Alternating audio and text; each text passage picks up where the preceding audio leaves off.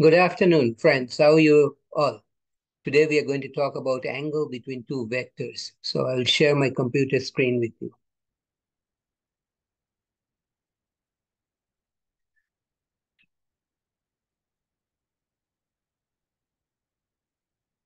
Please find the angle between the vectors written in component form u is equal to 1, 1 and v is 2 minus 2.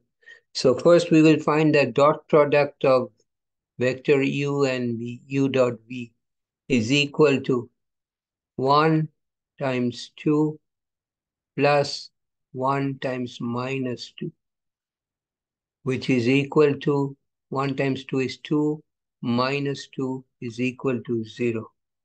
Now, magnitude of vector u is equal to uh, square root of 1 square plus 1 square is equal to square root of 1 plus 1 is equal to square root of 2.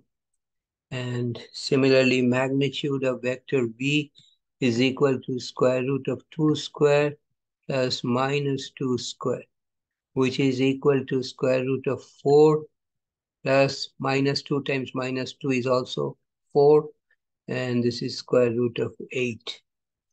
So the cosine of the angle between the two vectors, cosine theta, is equal to u dot v divided by absolute value of u multiplied by absolute value of v.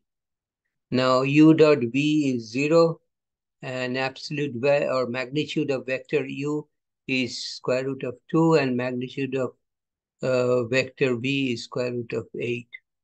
So it is 0 divided by square root of 16, which is 0 divided by 4, which is 0.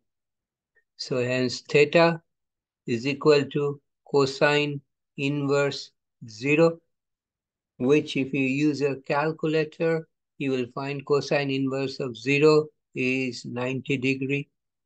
Okay, hence the angle theta between the vectors is 90 degree. Or you can write it as pi over 2. So I will stop here today. If you have any comment or question, please write me a note. Please write me a comment. I'll respond to you as soon as possible. And if you like this video, please give me a thumbs up. I really appreciate that. Please let your friends know about my video so that you and your friends can subscribe to my channel by hitting the red subscribe button at the bottom right corner. Okay, I'll stop here today. I'll come back next time with another interesting problem, another interesting solution. Take care. Have a nice day. See you.